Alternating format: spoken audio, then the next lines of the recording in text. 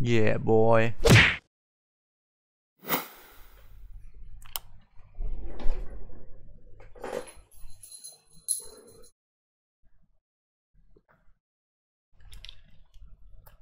อ้าวแล้วครับก็ขอสวัสดีท่านกันด้วยนะฮะ และนี่คือ Set to See Movie Fan Page ครับแล้ววันนี้เนี่ยเราก็จะมาดูตัวอย่างเรื่อง The Cheese Sister กันนะครับ เป็น Official Trailer แล้วนะฮะ ซึ่งที่ผมสนใจหนังเรื่องนี้เนี่ย เพราะว่ามันเป็นหนังที่กำกับโดยพี่มาเดี่ยวนะครับ ซึ่งแกก็ทำหนังที่ผมชอบหลายเรื่องอย่างเช่นพวก13เกมสยองแกก็เป็นคนเขียนบทดิวไปด้วยกันอะไรประมาณนี้นะฮะแต่ว่าแต่ว่าหนังพี่มาเดี่ยวกับ BNK เนี่ยเรื่องล่าสุดที่ดูดูกันก็ภาพผีบอกนครับซึ่งบอกเลยว่าเชี่ยมากผมไม่ชอบเลยนะฮะกับ The Cheese Sister เนี่ยก็เลย ไม่รู้สิ แต่ก็อยากดูตัวอย่างเหมือนกันนะครับ คือผมไม่รู้ว่ามันจะเป็นยังไงนะ ก็เลยว่าจะมาเปิดดูคำทุกคนนี่แหละครับ ให้คลิปนี้มันมีอะไรพูดผมก็จะลงนะฮะ แต่ถ้าไม่มีอะไรพูดก็จะไม่ลงนะครับ ก็ประมาณนี้ โอเคฮะ เรามาเริ่มกันเลยครับ กับการ reaction ตัวอย่าง The Cheese Sister ครับ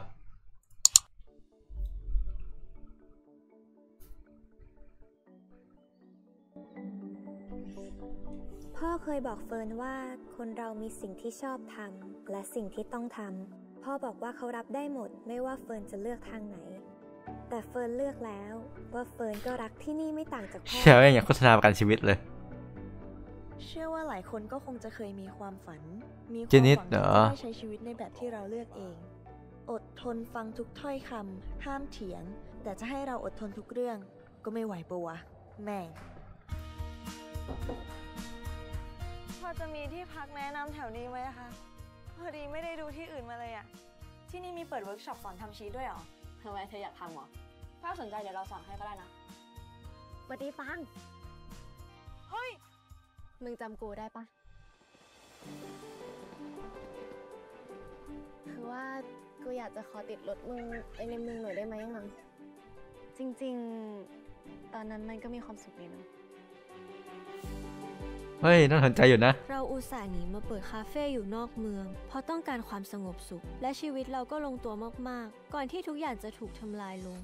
มาแล้วค่ะเพอเยายบ้านี่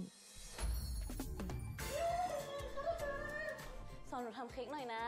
คือหนูอะอยากจะทำเค้กไปให้รุ่นพี่ที่หนูชอบ น้องมันอยากทำเค้กไปให้ผู้หญิงคนนั้น แกก็ทำได้แค่สอนนะ อย่าไปรู้สึกอะไรกับยายเด็กนี่นะ เหนื่อยนะเว้ย พี่ต้องดูแลร้านแล้วยังต้องดูแลแกอีกอะตอนนี้ที่ฟาร์มเฮาเนี่ย มีหนี้ค้างอยู่แสนกว่าบาทเขาคงต้องขายฟาร์มเอาตังค์มาสร้างหนี่ทั้งหมด นี่แกคิดจะขายฟาร์มจริงๆใช่ปะจริง ๆ เรื่องนี้มันจะง่ายมากเลยนะ ถ้าพ่อเราเป็นคนเฮียเราคงตัดสินใจอะไรได้ง่ายขึ้น เราอาจจะได้เป็นคนแรกของโลกเลยก็ได้นะ ที่ได้ทำชีสสุ่มจากน้ำดอกกุหลาบอะเพราะว่าเธออะเป็นคนที่จุดประกายความคิดเรา ขอโทษนะ แต่วันนี้เราจะมาลา กูรู้แล้วนะเว้ย ว่ามึงพากูอ้อมอะแล้วอีรถเหี้ยนึงอะมันก็ไม่ได้พังถูกปะตลอดหลายปีที่ผ่านมาที่มึงหายไปอะ กูไม่เคยลืมมึงเลยนะเว้ย แล้วจู่ๆวันเนี่ยมึงก็มา แล้วทำไมกูต้องปล่อยมึงไปอีกครั้งวะ โบกมือ bye bye bye bye ส่งให้เธ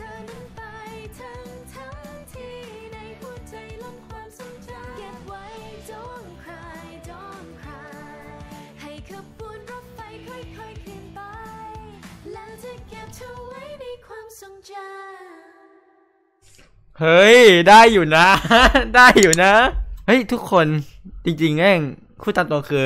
เกินคาดอยู่นะเว้ยคือทีแรกอะ่ะ มันปล่อยแบบตัวโปรโมทออกมาเป็นตัว teaser แล้วก็แบบที่มันเป็นแบบเหมือน present แต่ละคนอะ่ะแต่ผมตัวผมงงเว้ยว่ามันต้องการขายอะไรเว้ยแต่ว่าพอดูตัวอย่างเต็มเนี่ยก็ ค่อนข้างเข้าใจแล้วว่าหนังมันต้องการขายอะไรเหมือน มันจะแบ่งเป็นสี่เรื่องนะฮะ เรื่องแรกเนี่ยก็เป็นเรื่องของฟาร์มที่แบบมินี่ที่มันบอกนะครับที่เนยเล่น เรื่องที่สองเป็นปันปันกับเจนิสนะฮะที่มาโฮมสเตย์แล้วก็ทำชีส เรื่องที่สามเป็นเรื่องของวีแล้วก็อีกคนหนึ่งที่เขาเนี่ยเหมือนแบบได้เคยมีความสัมพันธ์กันในตอนวัยมัธยม แล้วก็สุดท้ายพอโตแล้วก็มาเจอกันอะไรเงี้ยแล้วก็ขับรถไปด้วยกันแล้วเป็นหนังแบบเชิงเชิงรถทริปหน่อยนะฮะแล้วเรื่องสุดท้ายเนี่ยเป็นเรื่องที่แบบที่เป็นคาเฟ่นะครับที่มีรุ่นน้องมาขอให้ ผู้หญิงคนนี้ช่วยสอนทำเค้กเพื่อจะไปให้รุ่นพี่ที่เขาชอบนะฮะผมว่ามันน่าสนใจทีเดียวนะ แต่เท่าที่มองจากตัวอย่างปัญหามันก็อยู่ที่